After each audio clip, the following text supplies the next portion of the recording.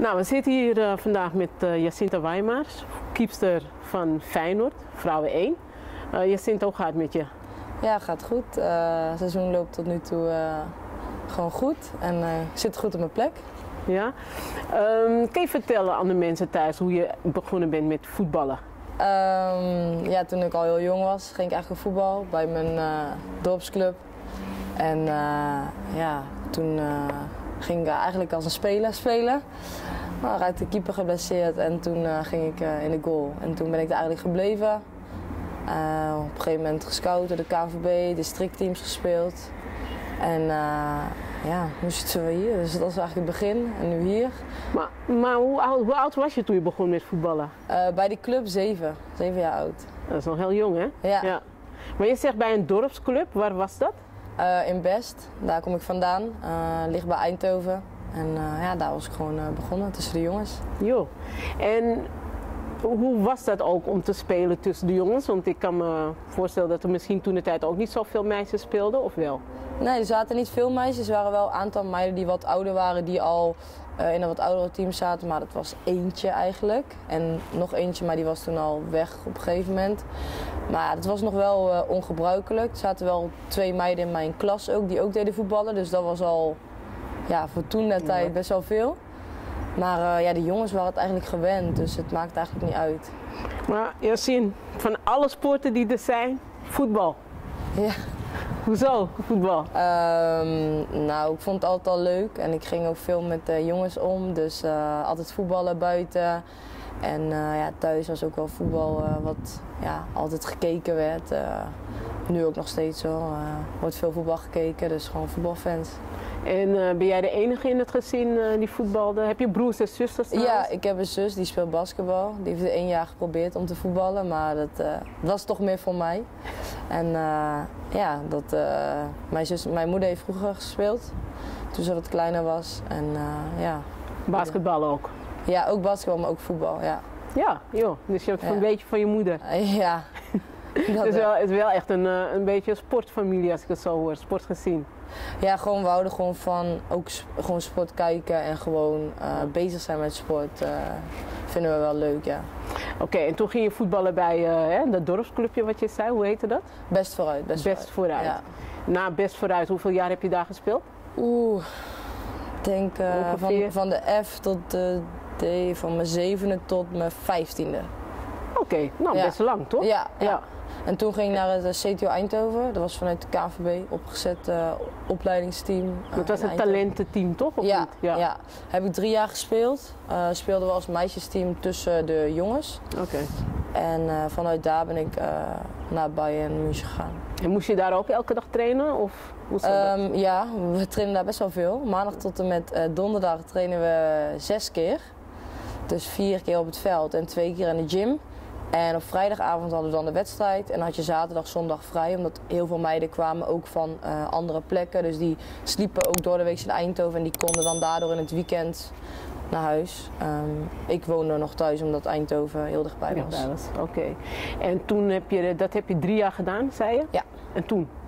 Toen ging ik naar uh, München verhuizen om bij Bayern München te spelen. En ondertussen was je al kiefster, hè? Ja, ja, ja. ja toen kiepte ja, je al. Ja. Toch Bayern München gespeeld, uh, getraind, ervaring opgedaan. Hoe is het je bevallen, Duitsland?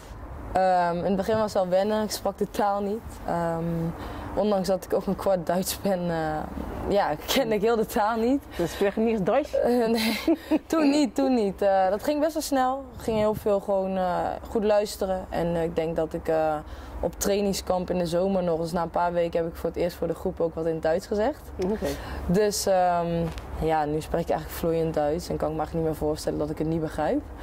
Dus dat was spannend. voor het eerst op mezelf wonen was spannend. Um, of ik het niveau aankon op de trainingen was spannend. Want ik ging gewoon van alleen maar met talenten trainen. Mm -hmm. In één keer met eigenlijk al wereldtoppers. Um, ja, maar dat ging eigenlijk uh, vrij goed. En uh, ik nam het gewoon aan als een uitdaging. En, nou, het is wel een topteam toch, Duitsland? Ja. althans Bayern München. Ja, ik ben wel blij dat ik het gedaan heb. Want ja, ik heb heel veel geleerd en dingen die ik nu eigenlijk gewoon ook nog kan gebruiken. Zowel in, op het veld, maar ook gewoon buiten het veld, ook als mens. En hoe lang had je daar gespeeld bij Bayern München? Uh, vier jaar. Vier jaar, oké. Okay. Ja. En dan kom je, en toen de volgende stap?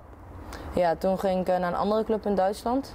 Met oog op speelminuten. eh SC Zand, dus meer eh, ja, een ander deel van Duitsland. Ja, ja dat was ook eh, in het begin eh, op zich eh, prima ervaringen. Maar daarna, eh, op een gegeven moment speelde ik toch niet zoveel. En eh, corona, miste familie. En toen was voor mij wel duidelijk dat ik eh, een andere Terug uitdaging wilde. Ja. Naar Nederland. En toen Ja. kwam Feyenoord, volksclub Feyenoord. ja, Hoe is dat gegaan? Nou, ik wist wel dat Feyenoord dan de Eredivisie inging. En zo eh, werd contact gelegd, heb ik een gesprek gehad. En na dat gesprek wisten we eigenlijk allebei wel van... Ja, we willen eigenlijk wel met elkaar gaan samenwerken. En eh, ja, zo is het balletje gaan rollen. En toen eh, kwam je hier terecht, je, de meiden leren kennen. Want eigenlijk was het ook het eerste jaar toch dat Feyenoord Eredivisie ging spelen. Ja, klopt. Dus dat eh, was nog niet, zeg maar, de verwachtingen waren niet heel hoog. Dus Nee. denk ik, al wel naam Feyenoord, dan, dan moet je wel hè. Ja, dat was voor ons wel een beetje... de verwachtingen waren niet hoog, maar we, hebben toch, eh, we zijn toch Feyenoord. Dus Ja. eh, we wilden wel eh, laten zien van... als er iemand dan het nu gewoon goed, goed kan doen, zeg maar... eh, dan willen we laten zien van oké, we gaan gewoon laten zien waar Feyenoord voor staat. En dan, ja, ik denk dat dat nu toe best wel goed lukt. Ik bedoel... jullie gaan naar z'n tierenlier, toch? ja, we leveren strijd en we kunnen ook echt wel op resultaat spelen. We hebben een jong team en ik merk gewoon echt dat dat is vaak waar jonge teams tegenaan lopen. Ga ik nog niet onder de knie hebben, maar ik merk dat we voor ons echt duidelijk is van... Oké, wij zijn Feyenoord, we willen punten pakken. En hoe, dat maakt niet uit, maar eh, we willen punten. En wat is jouw rol daarbij? Ehm, ja, soms ook gewoon daardoor dat op resultaat spelen wat ik zeg, ook gewoon duidelijk maken van hey, het hoeft niet altijd mooi. Eh, daar ben ik ook wel voorstander van. Kijk, ik wil ook eh, heel graag, eh, ik vind eh, tiki-taka ook heel mooi. maar ik vind eh, een counter goal en daardoor drie punten mooier dan tiki-taka voetbal en nul punten. Dus dat ja, probeer ik wel ook wel duidelijk te maken. Ehm, ja, ik ben wel luid op het veld qua coaching. Ik wil wel gewoon de meiden goed neerzetten. En ja, dat is ook een beetje mijn rol daarin. Ja, ik, dat wilde ik je ook dus eigenlijk net vragen. Waar, waar ligt jouw kracht? Wat, waar ben jij, ja, ja, waar ligt jouw kracht? Ehm, als, sowieso speel ik het beste in mijn kracht als ik eh, me vertrouwd voel. En eh, dat is hier heel snel gelukkig gelukt. Ik voel echt dat ik gewoon mijn spel kan spelen. Ehm, als ik het team kan neerzetten, dus vanuit achteruit, coaching, vind ik heel erg belangrijk en dat we samenwerken. Ehm, ik weet wanneer ik gewoon de keuze moet maken van hey, eventjes uit de drukte, dus prima lange bal in de benen. En ehm, ja, een aantal wedstrijden heb ik ook wel een beetje het team al ehm, in de wedstrijd kunnen houden door een, een redding. En eh, ja, dat is wel iets wat ik graag doe. Dus je hebt al punten gepakt voor je team. Ja, soms Ja, wel. ja, dat hoort er ook bij. Je Ja, dat, toch? ja, ja, dat hoort erbij en dat is mooi. Maar ik vind het heel belangrijk dat we ook beseffen dat dat niet alleen vanuit mij komt, maar ook met het gehele team. En dat het dan, dan is het weer een keer ik die een bal heb, maar dan is het een keer weer iemand die een bal van de lijn houdt. Of het is iemand die een hele eh, counter heel slim eruit haalt. Mhm. En dat vind ik heel belangrijk. Daar kan ik, ik kan evenveel genieten van iemand die een counter slim eruit haalt, dan van ik die een bal red. Dat vind ik allebei heel ja. mooi. Ja. En dan merk je echt dat we het samen doen. Dus ja. Ehm, waar vind je zelf dat je beter in kan worden? Ehm, ik vind dat ik nog bij ehm, dus eh, ballen in de 5 meter vind ik dat ik nog gewoon veel meer dominantie kan uitstralen. Ik heb eigenlijk lichaam ervoor, ehm, Mhm. de kop ervoor om eh, eigenlijk eh, daar nog, ja, daar nog iets, iets meer dominantie uit te stralen. Dus dat zou ik zelf, voor mijzelf, vind ik dat, dat ik daar veel beter in kan worden nog. Ik, ik heb nou een aantal wedstrijden al kunnen laten zien wat ik kan en wat ik kan brengen voor het team. En dat wil ik heel graag doortrekken. Dit is dan ook mijn eerste jaar dat ik eigenlijk in mijn profcarrière dan eh, over zo'n lange tijd eh, de eerste keeper ben. Mhm. En eh, ja, da- daar wil ik gewoon mijn prestatie ja, constant in blijven eigenlijk. Het is wel mooi dat je dat zegt. eerste jaar prof. je hebt ondertussen toch best wel toch een beetje voetbalervaring opgedaan in Duitsland. Dat is niet het minste. Het is een pittige competitie daar ook. Ja. Maar ehm, hier doe je tot nu toe ook goed. Ja, je bent nu nog de onbetwiste nummer 1 in het Feyenoord doel.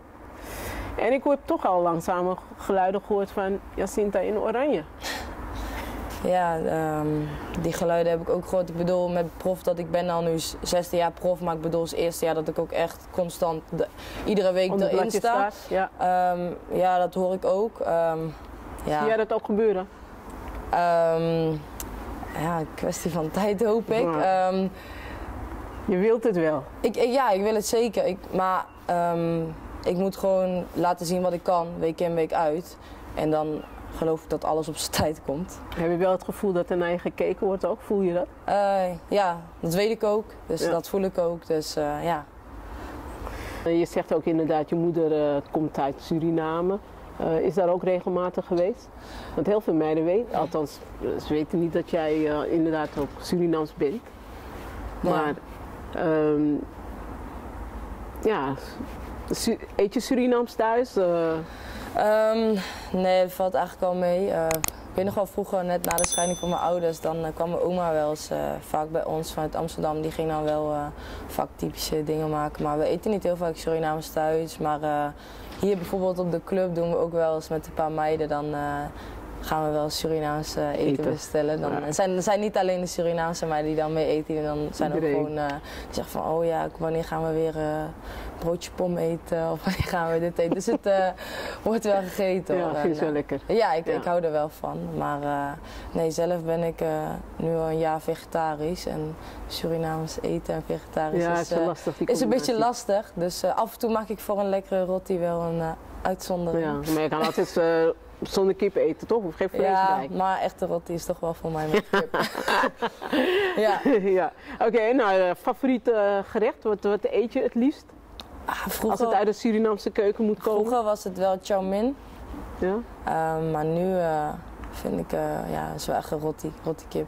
Zelf koken? Kan je, Dat, nee, kan je nee. gerecht klaarmaken in de Suriname? Nee, nee, nee. Dat niet. Nee, ik kan Uitdaging. alleen, ehm, ik kan alleen een Surinaamse bami of zo. Kan, nee, nasi, een nasi kan ik wel. Maar Dat kun je, maar dat, ja. dat, daar is het jammer genoeg ook gestopt. Maar eh, Nou, uitdaging. ja, dat, dat zeker. Nee, maar het, ehm, ja, ik kan er echt van genieten. Ik, ik denk nog steeds, ook als ik aan Suriname denk, dan lach ik. Maar dan denk ik eigenlijk aan mijn oud-tante.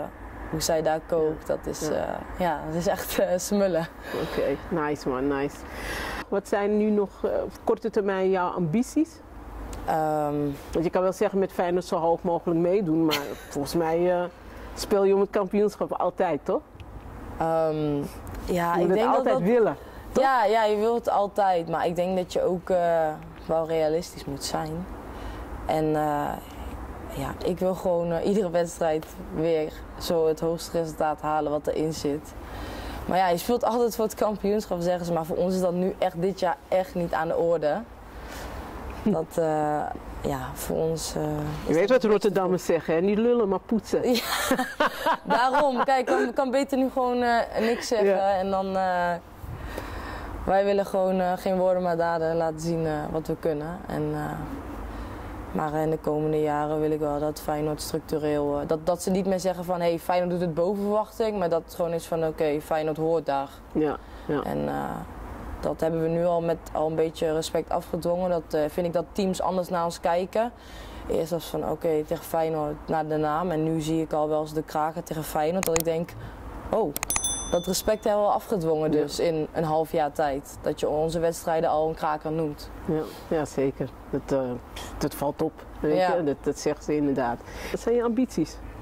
Ehm, ja, wat ik zeg, ik wil gewoon echt deze prestaties die ik nu lever met het team, maar ook met mezelf, wil ik gewoon eh, constant houden, volhouden. Ehm, ja, en eh, dan wil ik kijken wanneer eh, het mijn tijd is voor iets als Oranje of zo. Ja, durf het uit te spreken. Ja. toch? Ik wil gewoon, Ja. mijn, kijk, ik vind gewoon alles valt en staat met prestatie. En als ik blijf doen waar ik goed in ben, dan denk ik Ja. Dat eh, we gaan zien. Ja, dat denk ik ook. Niet bescheiden zijn, gewoon hard werken, gewoon doen. En dan komt het vanzelf. Ja, Ja, toch? Dat was het. top. Een leuk gesprek. Dankjewel. Ja.